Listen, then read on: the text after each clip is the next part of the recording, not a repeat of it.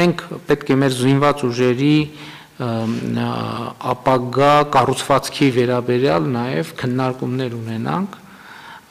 նաև ժամկետային զինվորական ծառայության սկզբունքների հետ կապված ինչքանով պետքա բանակը լինի պրոֆեսիոնալ, ինչքանով պետքա հենվի ժամկետայինների վրա, ինչքանով պետքա հենվի պրոֆեսիոնալների վրա, ոչ թե պայմանագրայինների, այլ պրոֆեսիոնալների, որովհետև մենք պրակտիկայում տեսանք, որ այնուամենայնիվ կա որոշակի եւ շատ էական տարբերություն ուղակի պայմանագրային զինծառայողի եւ պրոֆեսիոնալ զինծառայողի միջև եւ բայց սրանք ընդհանրապես օրակարգ են ես սա հիշատակում եմ այն տրամաբանության մեջ որ մենք այս հարցերով պետքա շատ լուրջ խորը քննարկումներ ունենանք եւ իհարկե կայացնենք որոշումներ